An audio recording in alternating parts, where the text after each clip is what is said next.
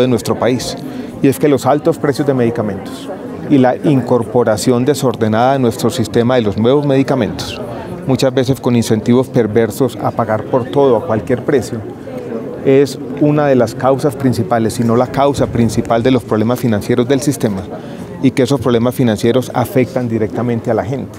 Esto es que si no resolvemos los problemas de los altos precios de medicamentos y esta incorporación desordenada, no vamos a resolver plenamente los problemas de nuestro sistema de salud que le preocupan a los ciudadanos. Entonces, esto es una discusión relevante eh, que tiene que ver con algunos de los elementos fundamentales de nuestra política farmacéutica. Como ustedes saben, nosotros estamos implementando una regulación desde el año 2012 basada en la referenciación de precios internacionales, pero yo quise plantear que esa regulación es insuficiente, que necesitamos otro tipo de medidas.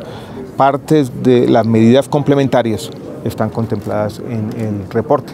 Ministro, uno de, una de las salidas durante esos cinco meses que dura la negociación de la organización, la, eh, la negociación centralizada eh, para los medicamentos, eh, sería, por ejemplo, los copagos para medicamentos no POS?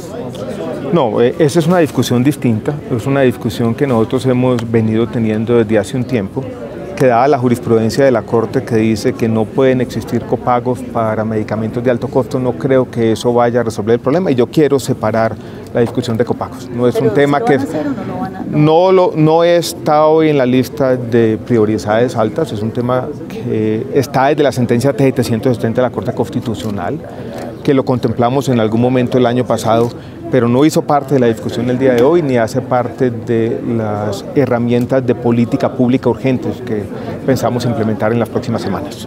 Ministro, ¿cuándo va a estar lista esa nueva ronda de regulación de precios de medicamentos, los 3.000? Vamos a anunciar eh, los medicamentos o los precios regulados por allá a finales de este mes de mayo, espero yo. Después viene una ronda de consulta con la industria farmacéutica y con las partes interesadas y esperamos que los medicamentos de la nueva ronda queden regulados por allá a mediados del mes de junio. Los cálculos preliminares, todavía son preliminares, muestran que le pueden ahorrar al sistema de salud y a los colombianos esta sola ronda de regulación de precios, algo así como 300 mil millones de pesos. ¿Pasa de cuántos a cuántos medicamentos regulados, ministro? Las cifras es, eh, la regulación anterior eh, tuvo más o menos mil medicamentos, ahora pensamos incluir unos 500 adicionales. Ministro, ¿cómo es el tema de la posición del Ministerio ante el referendo por adopción de parejas del ministro? Nosotros habíamos hecho una intervención ante la Corte Constitucional cuando la Corte discutió este tema y yo había eh, hecho parte de algunos debates que se dieron en la Comisión Primera del Senado. Quisimos ahora reiterarle a la Cámara de Representantes nuestros argumentos, que son muy sencillos y pueden resumirse, si se quiere, en dos líneas.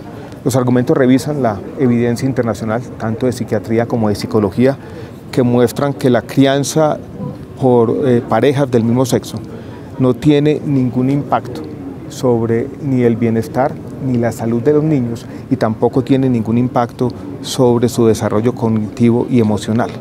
Que tal vez el único factor diferenciador es el estigma y el estrés y que leyes o intentos de leyes discriminatorias como estos pueden aumentar el estigma pueden aumentar el estrés y le pueden hacer daño a los niños. Eso fue básicamente lo que le mandamos a la Corte.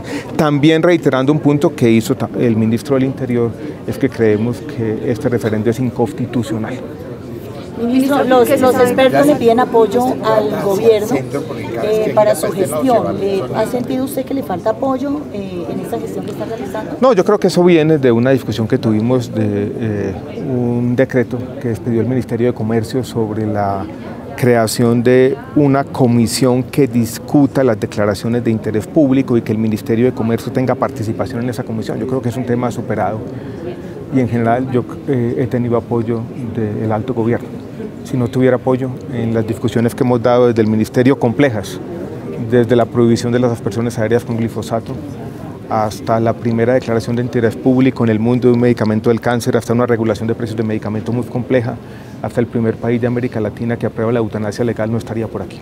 ¿Y con este medicamento de hepatitis C, ministro? Bueno, el medicamento de hepatitis C es uno de los grandes problemas globales. Eh, lo que tenemos son medicamentos que cuestan mucho.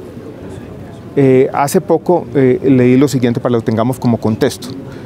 En el estado de California, en los Estados Unidos, pagar por los tratamientos de este medicamento cuesta más que toda la educación básica, de grado primero a grado 12. En Rusia, pagar por este medicamento, dado el número de pacientes que tienen estimados en la población, se llevaría algo así como el 12% del presupuesto global. En Colombia podríamos hacer cálculos similares. Eh, si hacemos la regulación de precios de medicamentos como está contemplada en nuestra legislación, no lograríamos una reducción de precios significativa y seguiríamos teniendo el mismo problema. Para los medicamentos de hepatitis C pensamos hacer lo siguiente. Primero, comprarlos centralizadamente. Ir a la Organización Panamericana de la Salud, mancomunadamente los países juntarse para obtener una buena negociación y de esta manera creo que vamos a tener una reducción de algo así como el 70% del precio. Eso de un lado. Mientras eso pasa, queremos que el FOSIGA no pueda pagar más del precio que nos va a dar la compra centralizada en la Organización Panamericana de la Salud. Entonces vamos a emitir en los próximos días un acto administrativo que fije un valor máximo de pago por esos medicamentos eh, contra la hepatitis C que sea, vuelvo y repito, igual al valor que vamos a comprar centralizadamente en la Organización Panamericana de la Salud.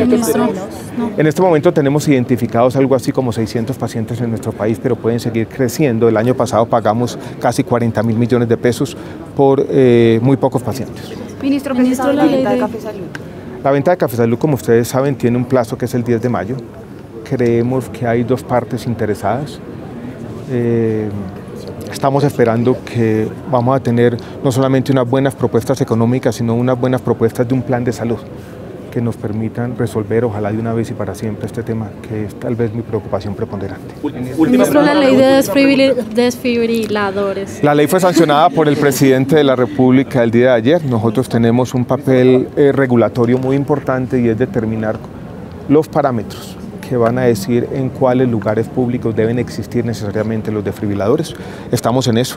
La ley se sancionó ayer y todavía en un día nomás no hemos podido sacar los eh, decretos reglamentarios, pero ya vendrán. Listo, muchachos.